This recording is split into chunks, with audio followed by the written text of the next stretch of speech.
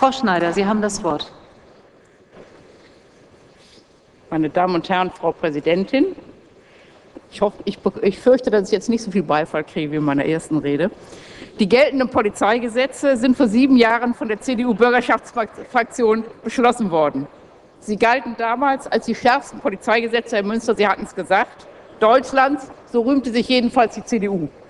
Sie, sie zeichnen sich durch den, durch den, drastischen Ausbau der Polizeibefugnisse und durch die, durch die nicht minder drastische Beschränkung von Freiheitsrechten aus.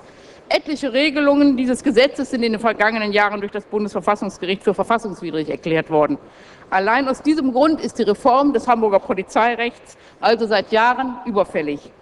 Nach unserer Auffassung ist es dringend geboten, auf dem Weg, den die CDU damals eingeschlagen bzw. dem Weg, den sie damals forciert hat, umzukehren. Die Gesetzesnovelle, die der SPD-Senat vorgelegt hat, korrigiert Details und hebt ganz offensichtlich verfassungswidrige Bestimmungen auf. Doch die Anforderung einer dringend notwendigen Reform des Polizeirechts erfüllt die Novellierung des SOG und POL-DVG, äh, die heute beschlossen werden soll, nicht.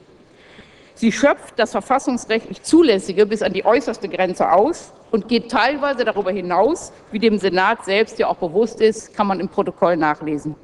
Denn sie setzt nicht nur die bisherige Linie fort, sie, sondern sieht sogar Verschärfungen vor. Ich will nur einige nennen. Die Polizei soll in den Waffenverbotszonen zusätzlich die Befugnis erhalten, verdachtsunabhängig Personen zu durchsuchen. Die längerfristige Observation, die bisher nur zur Abwehr einer unmittelbar bevorstehenden Gefahr für Leib, Leben oder Freiheit einer Person durchgeführt werden durfte, soll zukünftig bereits zur, sehr vage formuliert, Abwehr einer Gefahr erfolgen. Hier sehen wir die für das ganze Gesetzeswerk typische Herabstufung des Gefahrenbegriffs, der dieses Kernstück des traditionellen Polizeirechts noch weiter aushöhlt, als er schon ausgehöhlt ist und ihn damit faktisch beerdigt. Das ist in rechtsstaatlicher Hinsicht ein riesiges Problem, denn die Staatsgewalt greift im wachsenden Ausmaß in die Grundrechte von Bürgerinnen und Bürgern ein, die nicht sogenannte Störer sind, also weder einer Straftat verdächtig noch für eine bestimmte Gefahr verantwortlich sind. Weiter. Beim großen Lauschangriff darf die automatische Aufzeichnung von Gesprächen, die dem Kernbereich privater Lebensgestaltung zuzurechnen sind, fortgesetzt werden. Das strikte Verbot staatlicher Überwachung in einer Zone des Höchstpersönlichen wird so umgangen. Der unantastbare Kernbereich privater Lebensgestaltung ist damit eben nicht mehr unangetastet. Die strikte Grundrechtsbindung auch bei privater Überwachung wird preisgegeben. Der Einsatz verdeckter Ermittler soll durch eine Herabstufung des Gefahrenbegriffs erleichtert und zur Verhütung von Straftaten statt wie bisher zur vorbeugenden Bekämpfung erlaubt werden. Durch beides sind die Eingriffsgrenzen so weit gedehnt, dass sie faktisch beseitigt werden. Die Polizei hat de facto ein uneingeschränktes Wahlrecht beim Einsatz verdeckter Ermittler. Das ist rechtsstaatlich umso problematischer, als der Einsatz verdeckter Ermittler nicht unter Richtervorbehalt steht. Hier entscheidet nur die Polizei, die Exekutive, und sie wird dabei weder von der ersten noch von der dritten Gewalt kontrolliert.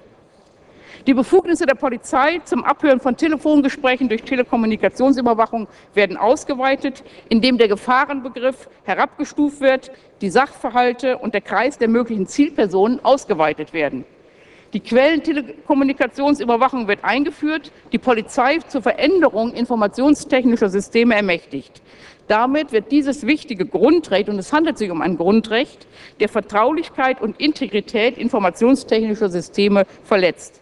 Der Verdacht liegt auf der Hand, dass hier das Startzeichen für die Einführung der Online-Durchsuchung gegeben wird.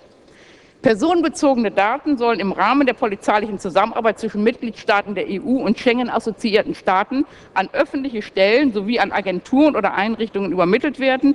Datenschutzrechtliche Fristen dürfen aufgehoben werden, wenn die Daten zur Verhütung von Straftaten benötigt werden. Damit wird noch unüberschaubarer, wo welche Daten von wem, aus welchem Grund, zu welchem Zweck, in welcher Datei, mit welchen Löschfristen gespeichert sind. Die vorliegende Novelle setzt also die seit Jahren vorherrschende Tendenz fort, traditionelle Begrenzungsmechanismen polizeilicher Befugnisse, polizeilicher Macht zu beseitigen. Den sowieso schon üppigen Möglichkeiten der Überwachung und Datensammlung werden mit der Novelle weitere hinzugefügt.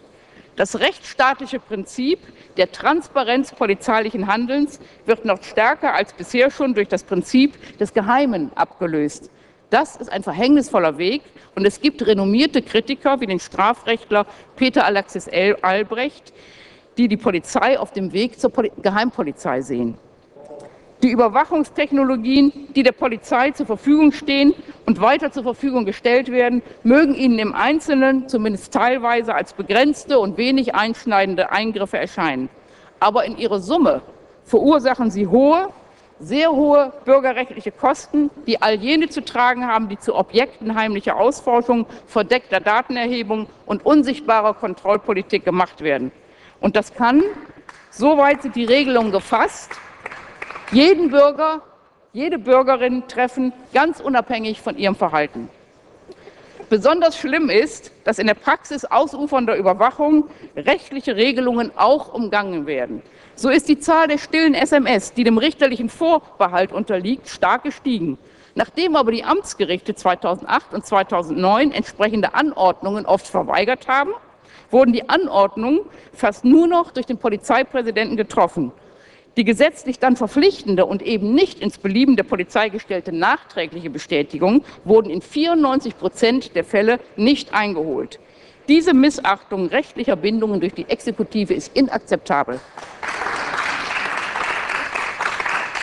Meine Damen und Herren, das oberste Gebot in einem demokratischen Rechtsstaat ist das einer transparenten Polizei, die durch Offenheit den Bürgerinnen und Bürgern Vertrauen vermittelt.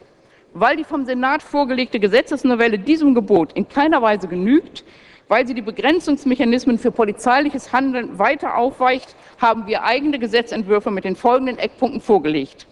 Wir wollen die Grundrechte der Bürgerinnen und Bürger gegenüber der Polizei stärken. Wir wollen die Möglichkeit verdachtsunabhängiger und zielgruppenspezifischer Kontrollen von Personengruppen in Gefahrengebieten und Durchsuchungen von Personen in Waffenverbotszonen sowie die Möglichkeit, in solchen Gebieten Aufenthaltsverbote äh, zu verhängen, aufheben. Bei Ingewahrsamnahmen muss unverzüglich eine richterliche Entscheidung herbeigeführt werden. Der Einsatz von verdeckten Vermittlern, Ermittlern wird aus dem Gesetz gestrichen. Der Gefahrenbegriff der Gefahrenbegriff wird wieder geschärft. Die zu schützenden Rechtsgüter werden abschließend benannt. Bei erheblichen Grundrechtseingriffen wollen wir die unmittelbar bevorstehende Gefahr für Leib, Leben oder Freiheit einer Person als Voraussetzung normieren. Transparenz und Kontrolle der Polizei müssen hergestellt werden. Unsere Gesetzentwürfe sehen deshalb die individuelle Kennzeichnungspflicht von Polizeibeamtinnen und Polizeibeamten vor sowie einen parlamentarischen Kontrollausschuss der Bürgerschaft, um verdeckte Ermittlungsmaßnahmen zu kontrollieren. Ich möchte jetzt noch ein Wort zu dem FDP-Petitum äh, äh, sagen, zu dem FDP-Antrag. Den Entwurf des Senats gibt es seit sieben Monaten, weil es wirklich fast auf den Tag genau sieben Monaten. Es gab drei Beratungen. Die FDP war nicht unbedingt immer vertreten und wenn sie vertreten waren, hat sie nichts gesagt. Und wenn ein Tag, ein Tag vor der Lesung ein Antrag kommt, der von der GAL auch noch ab, also Entschuldigung, den Grünen auch noch abgeschrieben ist, dann finde ich das echt ein Armutszeugnis für eine Partei, die sich bürgerrechtlich nennt. Schönen Dank.